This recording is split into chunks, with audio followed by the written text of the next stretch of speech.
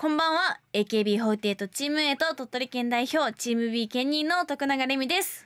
こんばんは。BSS サイン放送アナウンサーの松原優希です。この番組はこの春高校1年生になった私徳永レミとちょっとだけ人生の先輩松原アナウンサーが現役高校生高専生と一緒に作っていくラジオ番組です。今時ハイスクール33回目の放送です。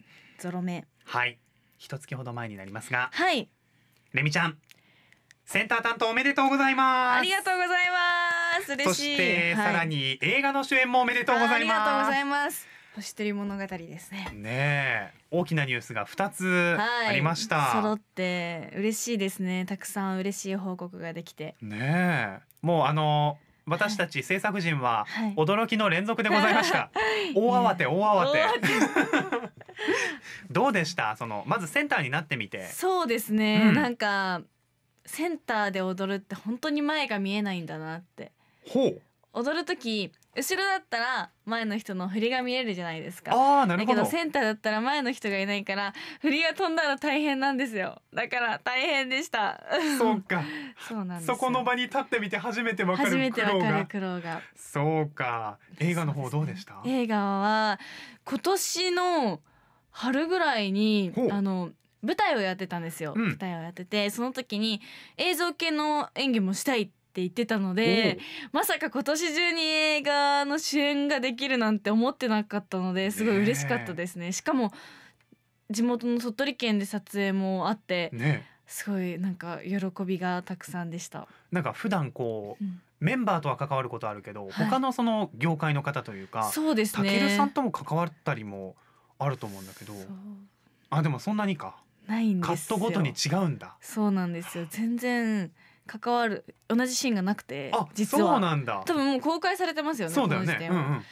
こうあのなくてシーンが。なのでお会いしたことはないんですけど、うんでもそうやって有名な方と一緒の映画に出れるってすごく光栄なことだと思うので嬉しいですね。撮影の様子はどうでした？もう一日で全部撮ったのでもう詰め詰めのスケジュールでやっててでもすごいなんかお勉強になることもたくさんあって楽しかったです、えー。またじゃあその分野にも。そうですね。なんかまた挑戦したいなって思いました。楽しかったので。レミちゃんの女優デビューも。デビュー、ね。そうですね。また番組でもねまたレミちゃんの女優デビューあればね随時お伝えしていくので、はいぜひ。よろしくお願いします。お願いします。はい。さああの年末には特別番組の放送も決定しております、はい、そうなんです、はい。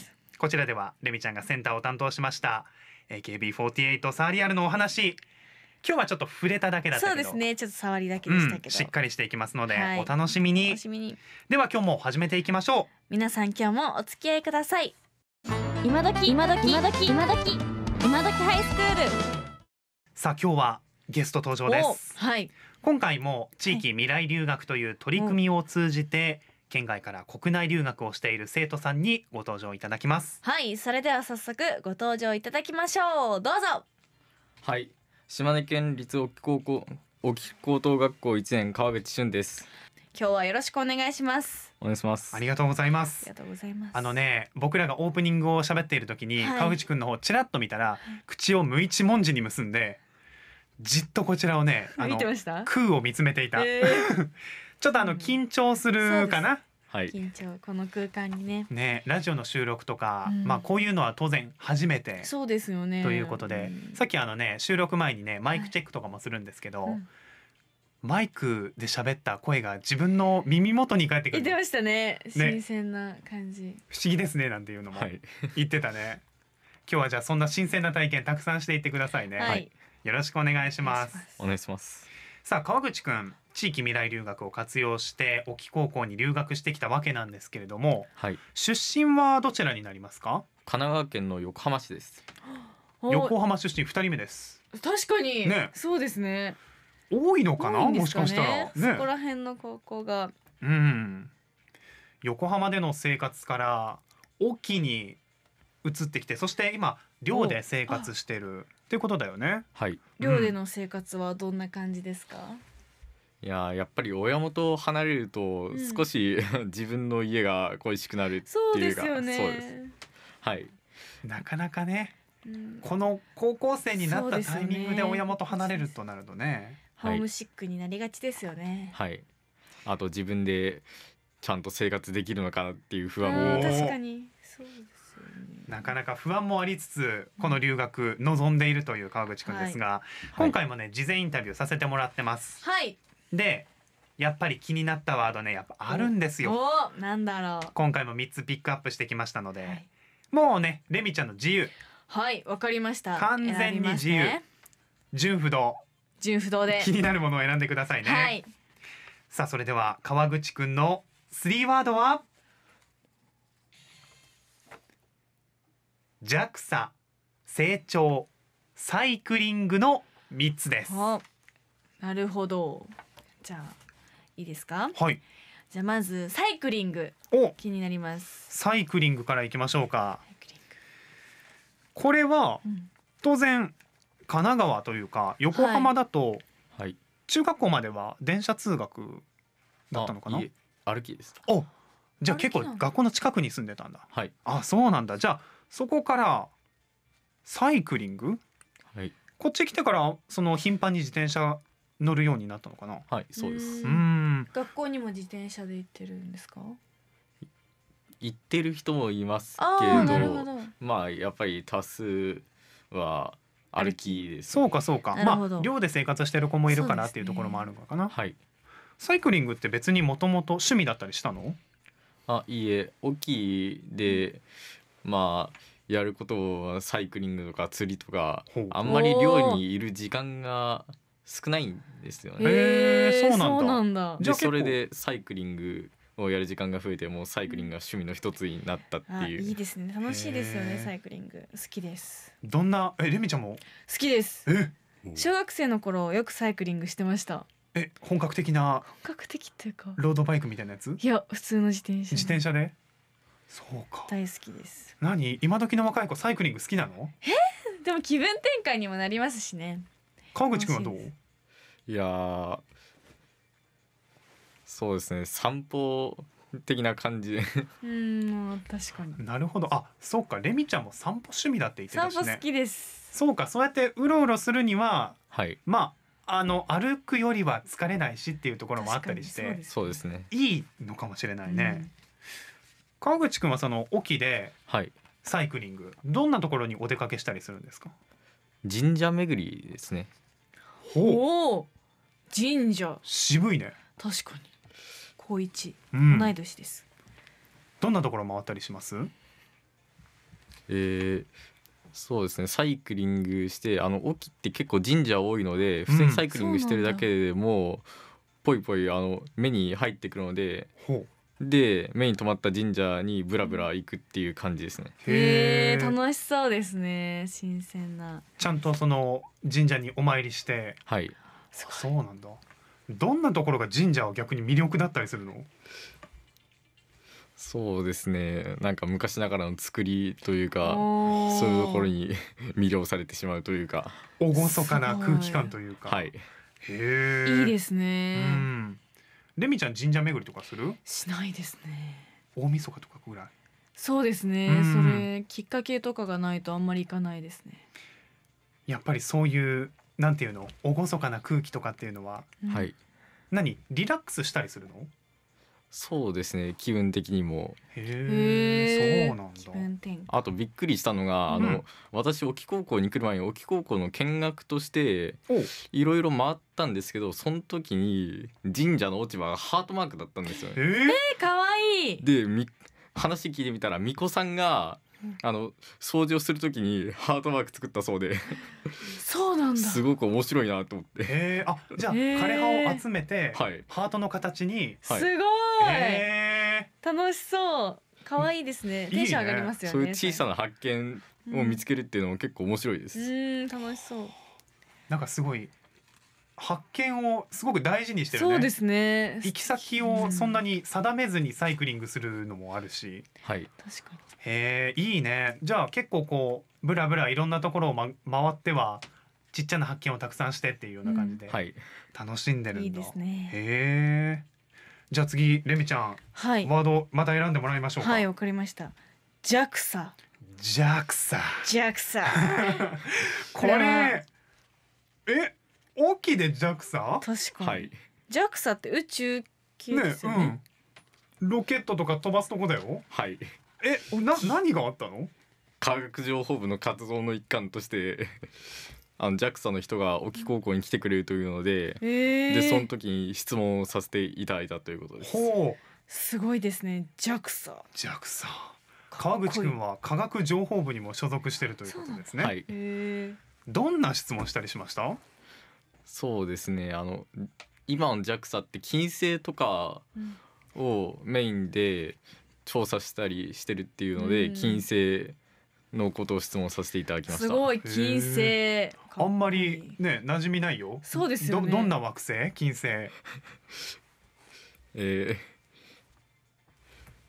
地球のえ兄弟星って呼ばれていたのか。そうなんだ。たへえそうなんだ。結構記憶曖昧で。そうなんだ。え結構じゃあ専門的な質問？っていうのが、もしかしたらその場では飛び交ったりもしたの？いやちょっとわからない単語はありましたけど、私ちょっとあの金星については詳しくないので結構アバウトなおおことしか質問できなくて。でも質問できるっていいのがいい質問できるのがいいですうねん。実際なんかこんな質問というかうん。こういうまあ他の人が聞いてたものでもいいんだけどこういう質問面白かったなっていうことあったりした？あの金星に降る硫酸の雨っていうのは。硫酸の雨？え硫酸ってあのそれは大丈夫な感じ溶けちゃうやつだよね。はいそうです。なんか硫酸の雨が降るらしくてでそれ聞いた時驚いて。怖っ。えすごい溶けちゃうやつ降るのにどうやって観察してんだろうとか気になるところがたくさんだね。はい。確かに興味深いかもしれないですね。そうか。すごい。なんかこう特別なまあ星についての知識もそうなんだけど、うんうんうんはい。科学情報部ではどんな活動をしたりとかありますか？あのそうですね。あの前まではあのなんだろうあのキノコおお木の沖のしいたけをあの成長させるのに結構手を加えたりとかして、へー。でそれで興味興味を持った大学さんとあの共同で研究したりとかもしてて。え結構ガチな感じなんですね、はい。ね。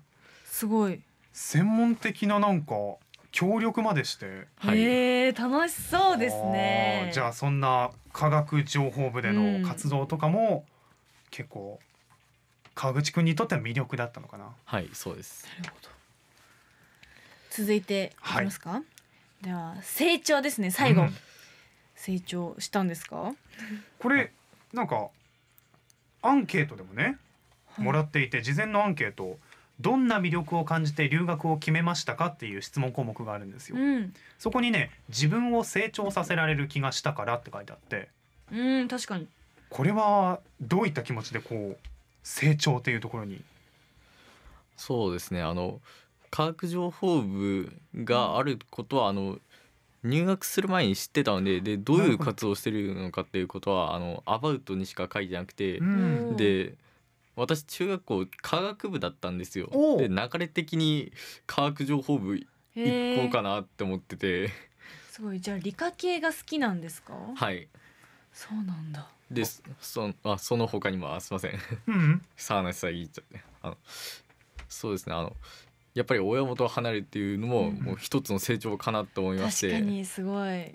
成長できます、ね、沖高校に行くだけでもいろいろ成長できるかなって思って、うん。このワードに成長っていう言葉を書かせていただきました。素晴らしいですね、なかなかこうねうん。高校1年生というか中学3年生の段階でそうですよね。これを決めたってことですもんね。ねはい。その段階で成長を意識できてるっていうのがね素晴らしいですね。あのもうここ最近来てくれてる留学生のみんなの一番の僕は驚きなところ。うん確かに。ね実際にこう沖に来てはい。成長を感じるところはあったりしました、そうですね。